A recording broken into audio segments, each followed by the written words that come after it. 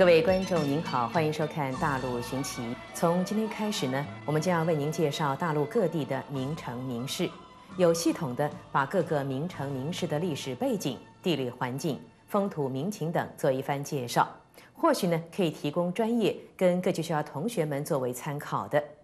第一个介绍的是内蒙古自治区，它是中国大陆最北方的一个省份，在自治区的更北方呢就是外蒙古了，所以它是一个边界省。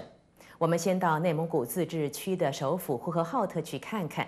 呼和浩特呢，它蒙古语的意思是青色之城，在旧石器时代呢就有人类居住着，而在春秋时代呢开始开发。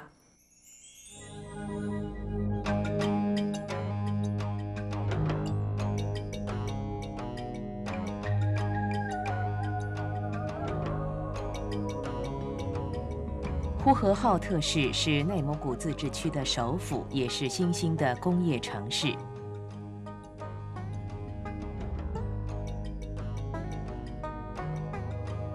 内蒙古不仅拥有名列世界前茅的大草原，而且拥有丰富的矿产资源，土地面积一百一十八万多平方公里，是全大陆土地面积的八分之一强。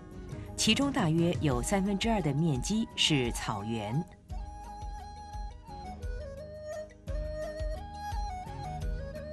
呼和浩特市在河套平原之东，水草丰美。早在几十万年之前的旧石器时代，就有人类在此地生息。在呼和浩特东北部这一带，就有大窑文化的遗址。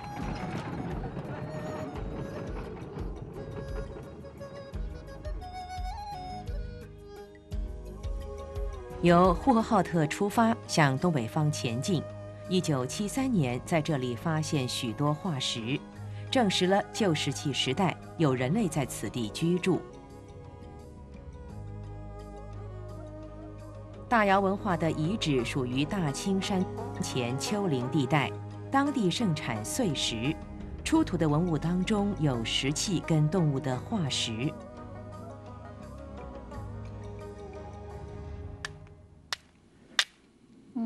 嗯嗯。嗯，你看这不地方，这这这这这这，要不然说是。呼和浩特民国时原名龟虽，春秋战国时代赵国大将李牧、廉颇等先后拓边，设置云中、元阳两地，并大规模地筑长城，开始垦殖。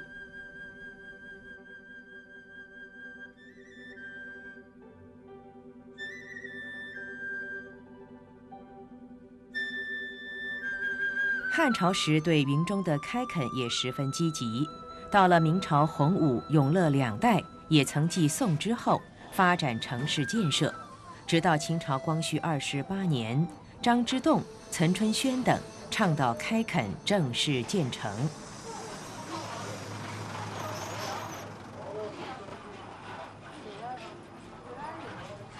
呼和浩特的开发是张之洞等引河套之水。开渠道运河，以灌溉农田，垦荒的人始开始聚集。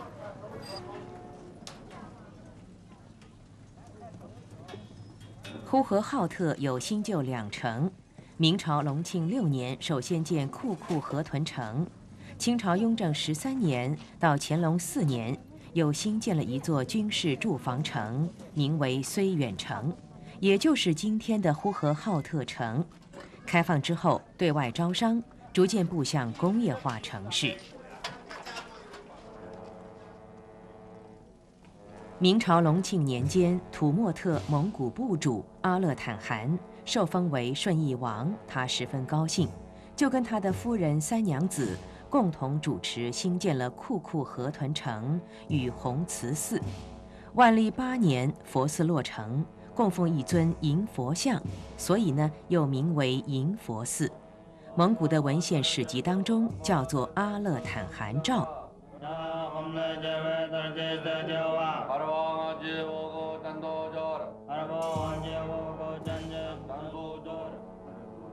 万历十四年，达赖三世喇嘛应阿勒坦汗长子僧格都古楞汗之请，到大昭寺为银佛开光。并为死去的阿勒坦汗超度、诵经祝福。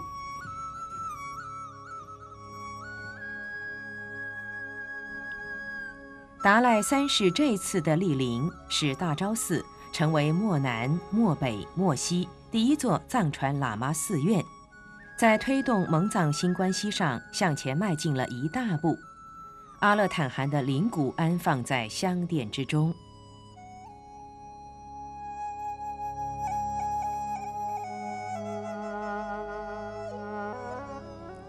大昭寺中的建设跟殿中供奉的佛像。都按照藏传佛教的规仪形式而定，就连经典的诵念呢，也以藏文为主。后来竟成为蒙古佛寺的特色。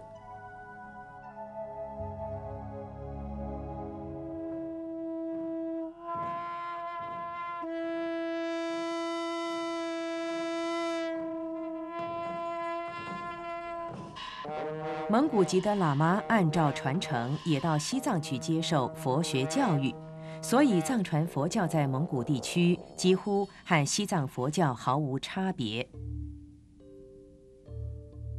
席力图照在呼和浩特市旧城石头巷，在明朝时呢，本是一座小庙，万历年间才有了改变。在碑亭内有康熙御制平定噶尔丹记功碑。有汉满蒙藏文记述这次的战功。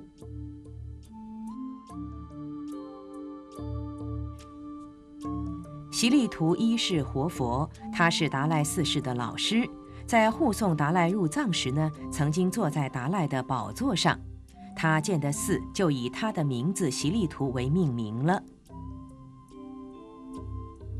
五塔寺在呼和浩特市旧城东南部的住宅区内。它始建于清雍正五年，是一座仿印度建筑风格的金刚座舍利宝塔。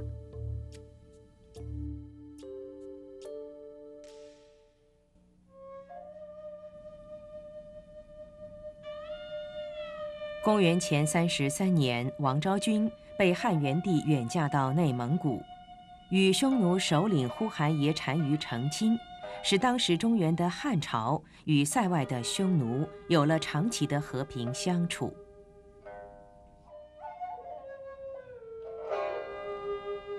王昭君是南郡子归人，汉元帝时被选入宫，晋宁元年嫁到匈奴。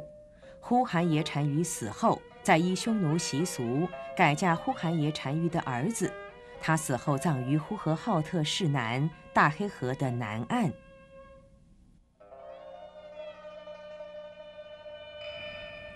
呼和浩特在阴山南麓，真正加速它开发的脚步是在民国之后，尤其最近十年进步更为快速。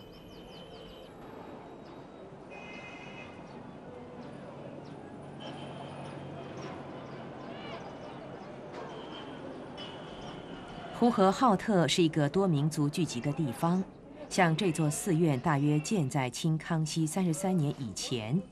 清乾隆五十四年扩建之后，成为当地最大的清真寺。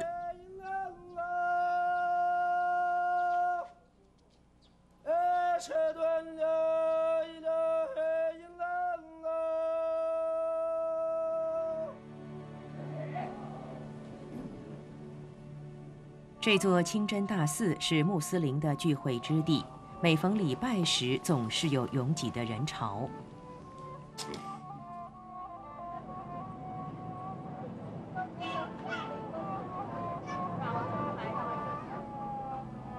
呼和浩特自古就是防止胡人南下牧马的屏障，加以核桃的富庶，沃野千里，水草丰美，既可耕种又可畜牧，丰富的天然资源，前途未可限量。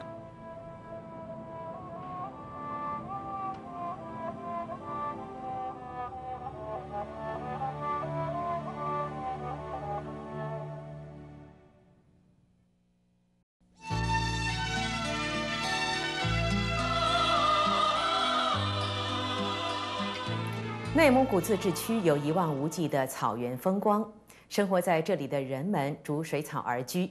每年夏天，草长马壮，是非常值得庆幸跟欢乐的时刻。草原上的人们呢，常举办很多的活动。而现在呢，我们一起来领略一下草原风情。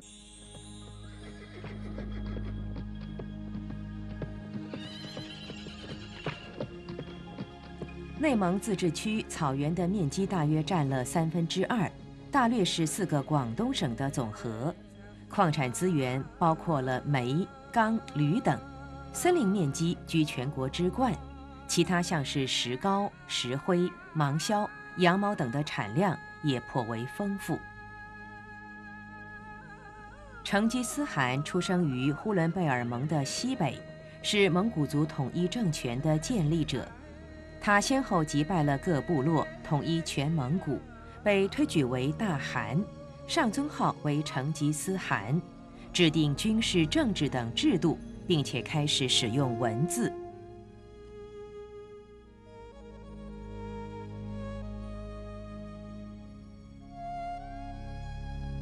西元一二一零年进攻西夏，第二年再陆续两次向金进攻。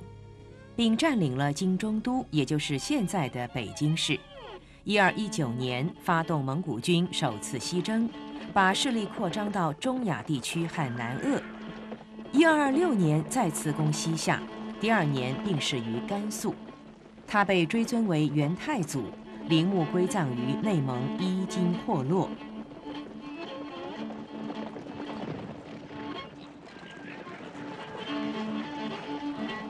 蒙古骑兵剽悍勇敢，他们自小在马背上长大的，人人都是骑射好手。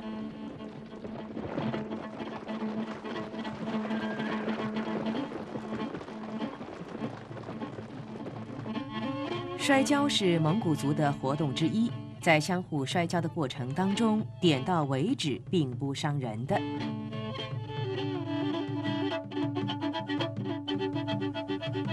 一年一度的那达慕大会在每年夏季举行。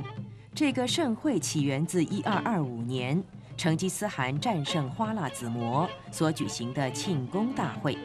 在大会中要举行三项男子竞技，就是赛马、射箭跟摔跤，主要是表现蒙古族驰骋草原的雄风。现代的那达慕大会则又加了许多新的项目。这顶灯顶碗舞是伊克赵蒙鄂尔多斯蒙古族从元代传承下来的传统民间舞蹈，动作非常优美，常常在宴会中一人或多人同时表演。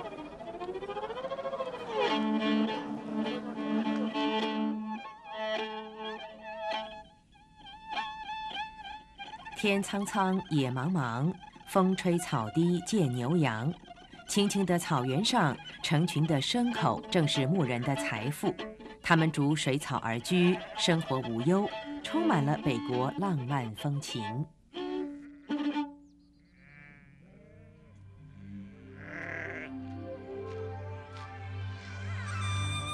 游牧民族逐水草而居，一整个夏天都在草原上度过，冬天呢，带着牲口回到家中。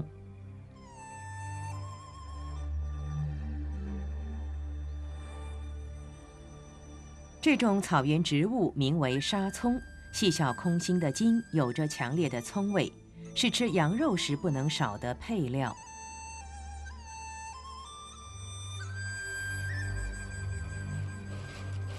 在蒙古草原上呢，经常能够看到这样工作的人，他们是在做什么呢？原来是在采收法菜。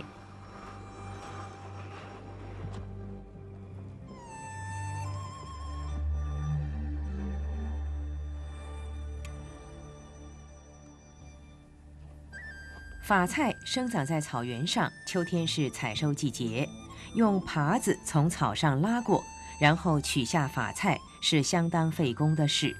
近年来，法菜的生产量已经大为减少，所以价格变得昂贵。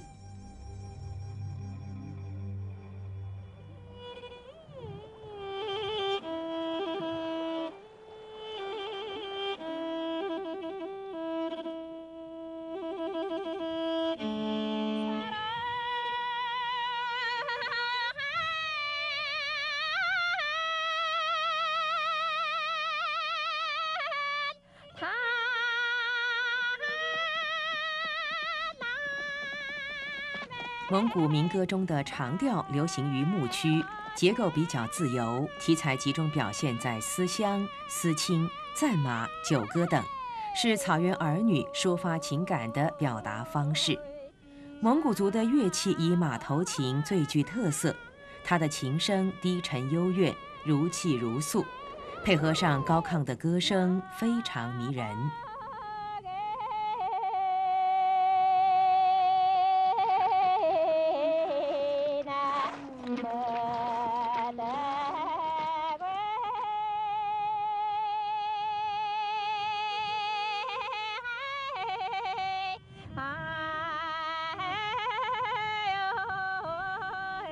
夏天的草原上有美丽的蒙古包，这是牧人的家。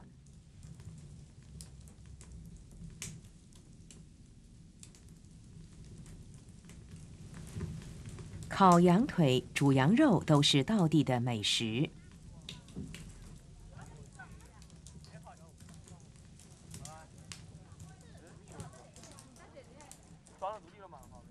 蒙古人都随身带着小刀。是用来在餐桌上切羊肉片的，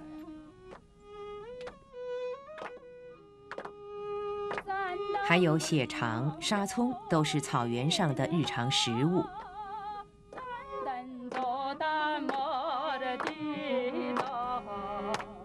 蒙古人豪爽、热情、奔放，对外来客人极为尊敬，以哈达敬酒表达最高诚意。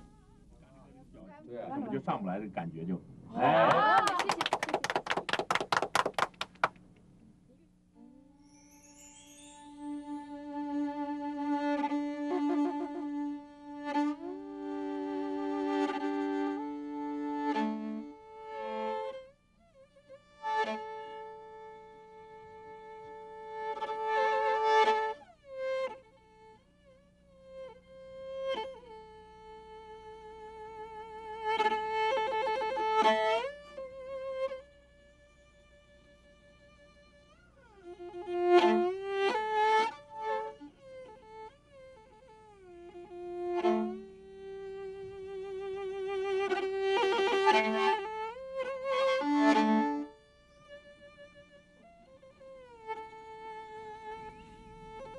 内蒙古的各民族在生息、繁衍、兴盛、发达的历史过程当中，为人类物质文明做了贡献，也创造了独特的草原文化。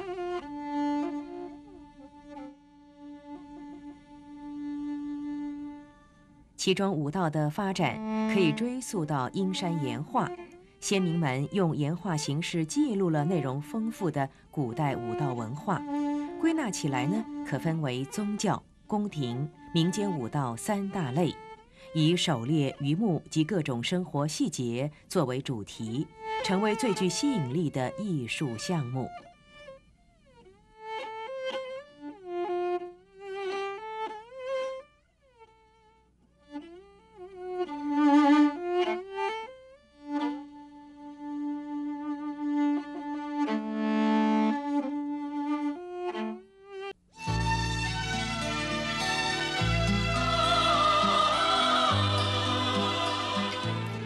一个月之前，我们的两组工作同仁是分头到云南来进行拍摄工作，一共是两个系列的专题报道，一个是珠江水系，另外一个是山区风情。在山区工作是非常愉快跟忘忧的，尤其能够再见丽江，真是令人非常愉快。因为它在几年之前呢，曾经受到强烈地震的影响，城市被破坏的是体无完肤，而今天新建，它从废墟中重生了。感到十分的欣慰。现在呢，我们再游丽江。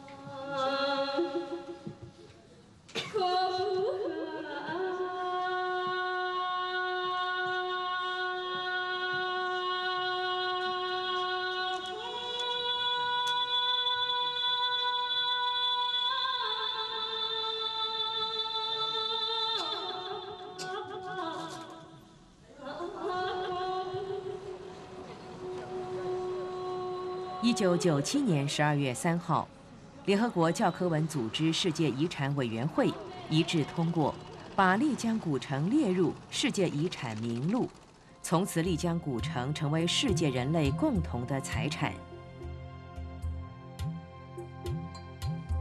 五凤楼是福国寺法云阁的俗称，楼高二十公尺，有三十二根柱子落地，从任何角度都可以看到五个飞角。玉龙雪山融雪之水最先渗流到黑龙潭，然后片流到丽江古城内，街道傍河而设，户户临渠，推门就见清泉流水，时时聆听泉水丛称。被誉为是中国最科学的古建筑布局。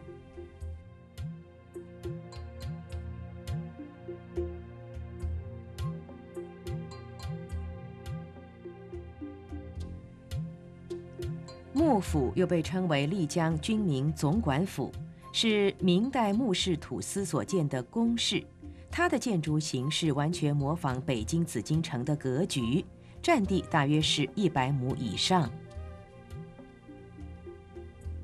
明朝洪武十四年，朱元璋派使者招降云南梁王和大理段氏，但是使者呢被驱逐出境。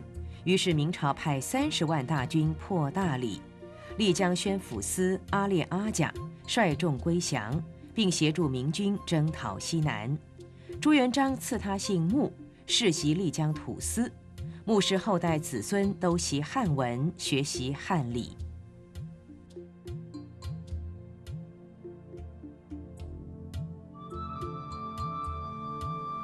玉龙雪山脚下白沙村的大宝鸡宫中有极为珍贵的壁画，现存的壁画有三十多幅，其中这幅如来佛的壁画呢是最大的，它正中画着如来佛，上面画有十八尊者，两侧画的是道教神像，下面是密教三护法神。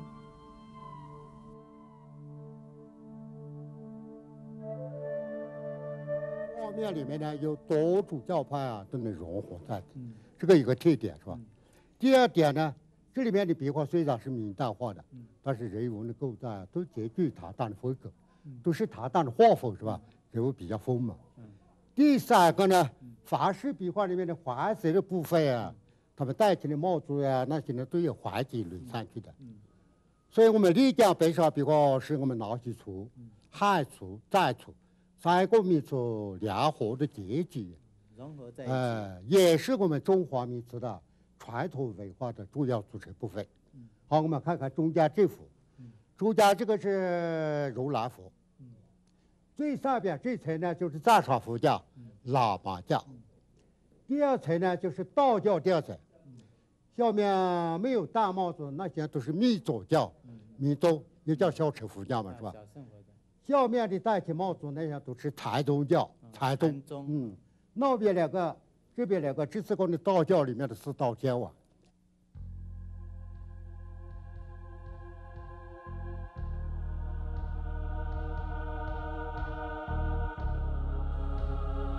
明代丽江纳西族穆氏土司采取开放政策，支持鸡足山、川西等地的宗教活动和寺庙的建筑。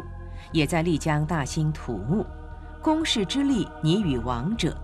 丽江壁画就是在这样的环境下产生的。从明初到明末的两百多年之间，有许多画家接手续画，所以呢是集体的创作。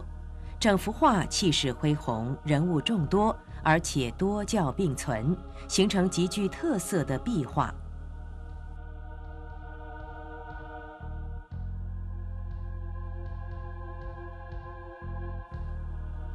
白沙壁画结合了汉、藏、纳西三族艺术风格，并将之巧妙地予以融合，笔法兼有中原跟藏画的技巧，是非常珍贵、难得一见的画风。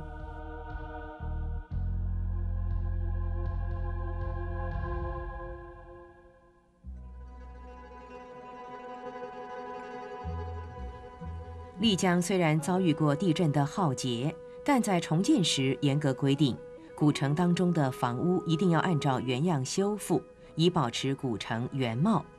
新的建筑全集中在新市区，高楼建筑不许进古城的，执行极为严格跟彻底，才能赢得联合国教科文组织的青睐。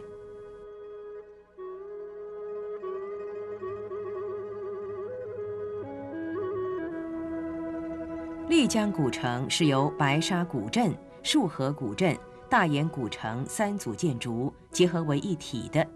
在主体部分是大研古城，位在丽江坝子的中部，始建于南宋末年，近千年来是滇西北政治、经济等的中心。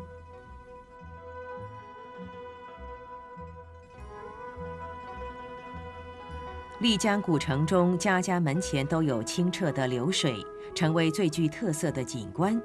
因为地形的不同，丽江地区是典型的立体气候区。随海拔的不同，气温也不同。古城中夏无酷暑，因此许多观光客常常选择在丽江度过夏天，而冬天呢，则又温暖如春。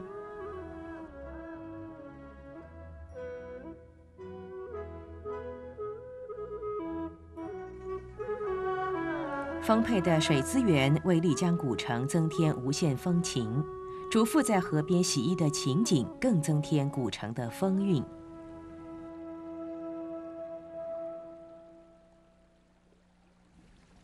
这口三眼井从古代时呢就清楚的划分：上池饮用，中堂洗菜，下流漂衣，大家遵守不悖。现在百姓饮用自来水，泉水只能冲洗涤用。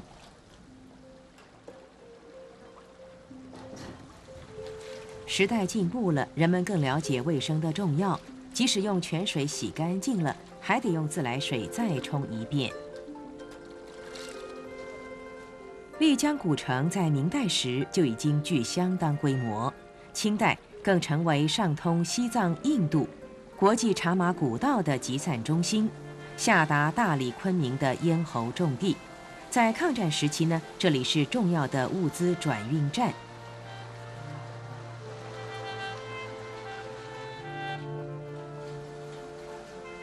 丽江古城以它的丽质天成而闻名国际。在十年之前，每周呢只有两班飞机往返，现在每天有十六个班次，简直不可同日而语。古城早已成为观光客的最爱。白天在这里体会水乡风情，晚间回到新城的星级饭店。想不到一座古城竟为丽江带来如此大的商机。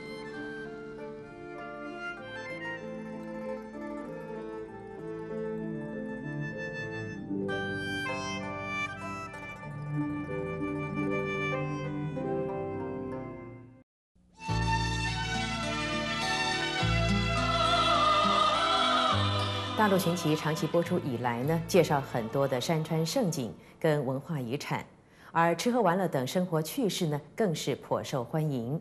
就戏曲呈现方面而言，大江南北可是各具风情的。像唐山皮影戏呢，在中国大陆颇负盛名，同时每年呢还在世界各地巡回公演的，获得一致的推崇。说到唐山皮影戏呢，有人说它达到视听的最高级的享受，有人说比卡通更有趣。现在呢，我们播出一段漂亮的皮影戏演出，它叫《瓜东鼠》。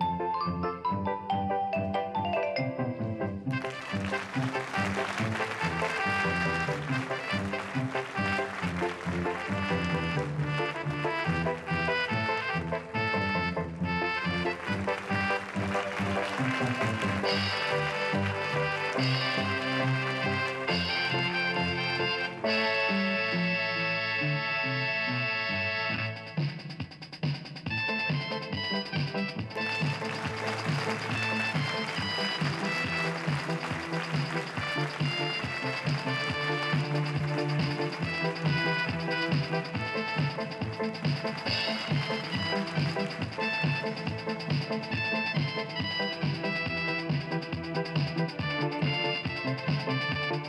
Thank